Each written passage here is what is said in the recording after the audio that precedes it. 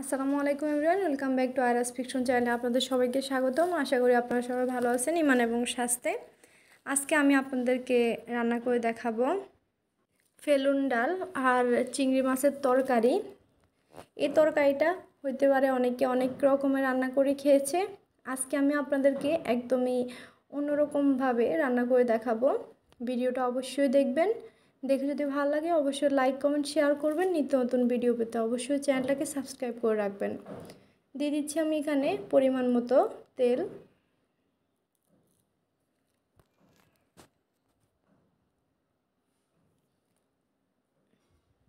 তেলটা গরম হয়ে আসলে আমি এখন এখানে দিয়ে দিব।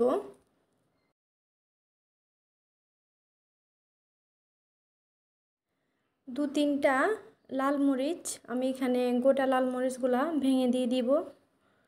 দুই তিনটা দিয়ে দিচ্ছি।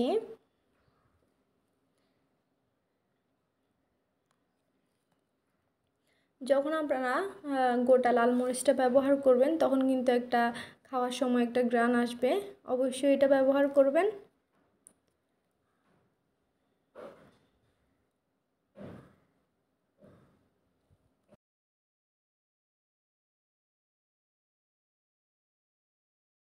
এগুলো একটু লাল হয়ে আসলে আমি দিয়ে দিচ্ছি পেঁয়াজ কুচি, রসুন, কাঁচামরিচ। আমি সবগুলো একসাথে দিয়ে দিলাম। আমার কাছে মনে হচ্ছিল পেঁয়াজটা একটু বেশি হবে, সেজন্য আমি বাকিটা দিনে একটু রেখে দিয়েছি। এখন আমি ভালো করে নেড়ে চেড়ে দিচ্ছি। যখন পেঁয়াজের কালারটা চেঞ্জ হবে, আমি তখন অন্য মশলা অ্যাড করব।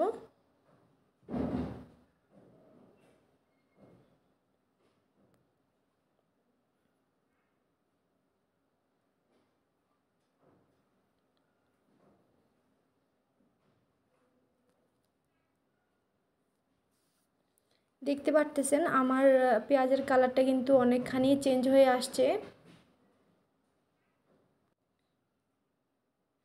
আমি ভালো করে নেড়ে চেড়ে দিচ্ছি। এখন আমি দিয়ে দিব গোটা মশলাগুলা। এখানে আমি নিয়ে নিয়েছি সামান্য কিছু জিরা আর মুড়ি ভাজা। নিয়ে নিচ্ছি ছোটো দু টুকরো দারচিনি, লবঙ্গ, দুটো এলাচ।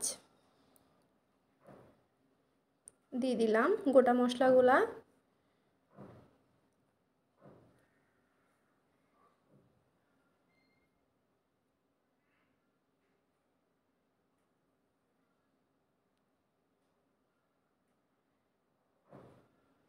তারপর দিয়ে দিচ্ছি স্বাদ মতো লবণ।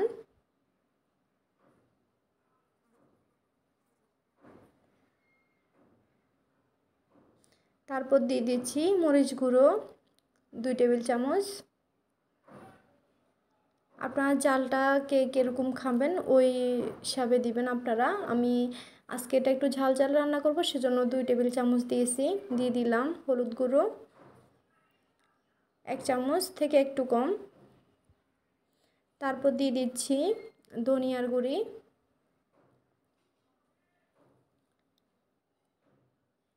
এখন আমি এগুলাকে ভালো করে নেড়ে চেড়ে নিচ্ছি।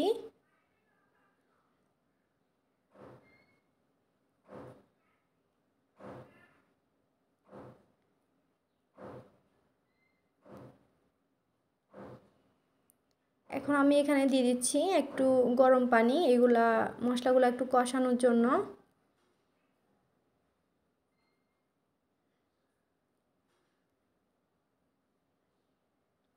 আমি আপনাদেরকে সব সময় বলি, আমি যে কোনো রান্নাতে গরম পানিটা বেশিরভাগ ব্যবহার করি। বেশিরভাগ না, আমি ঠান্ডা পানি ব্যবহার করি না।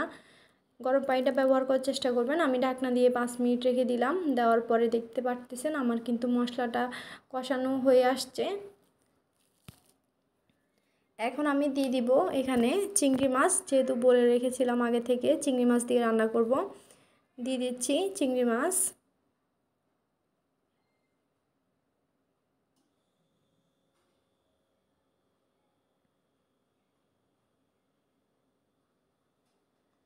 চিংড়ি মাছগুলো দিয়ে আমি ভালো করে নেড়ে চেড়ে দিচ্ছি।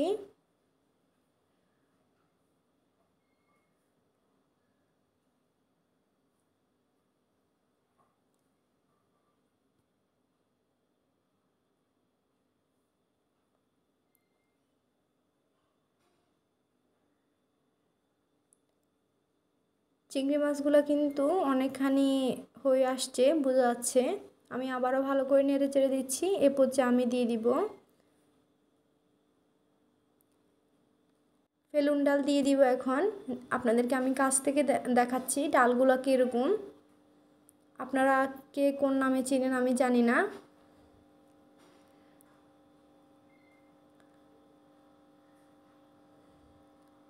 তবে আমাদের বাসায় আমরা ফেলুন ডাল বলি।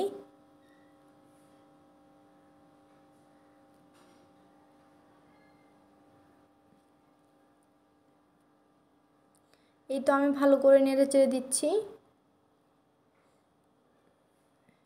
এগুলো আমি এভাবে করে কতক্ষণ কষিয়ে নিব?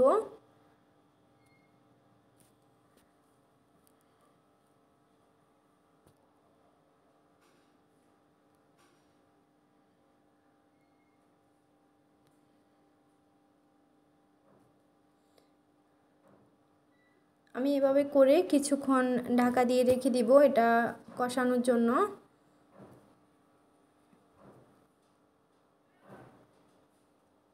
পাঁচ মিনিট পরে দেখতে পারতেছেন এগুলো কিন্তু কষানো হয়ে আসছে। আমি এখন এখানে দিয়ে দিব গরম পানি।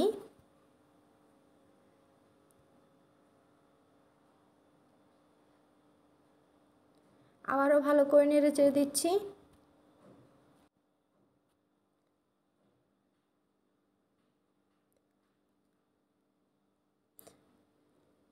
আমি ঢাকনা দিয়ে ঢেকে দিচ্ছি। আপনাদের কাছে ফিরে আসতেছি একেবারে ফাইনালে। দেখতে পারতেছেন আমার রান্না একেবারে শেষ। দেখতে কতটা সুন্দর লাগতেছে, আপনারা দেখেই আন্দাজ করতে পারতেছেন মনে হচ্ছে। খুবই দারুণ লাগতেছে, শুধু এই তরকারি দিয়েই এক প্লেট ভাত খাওয়া যাবে।